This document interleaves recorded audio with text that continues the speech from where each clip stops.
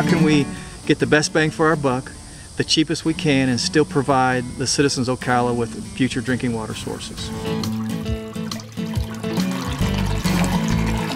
At first, we weren't sure how it was going to go because the district, you know, uh, a year or so ago uh, was not very optimistic that we were going to have any luck here.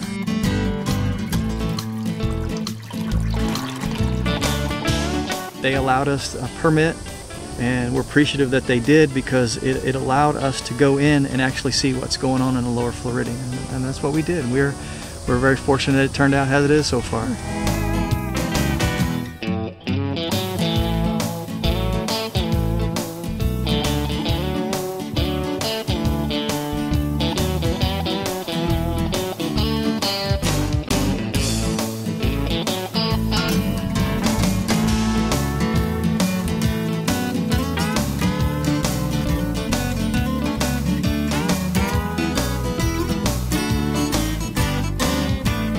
Look what look what we're coming into. Look how huge this is.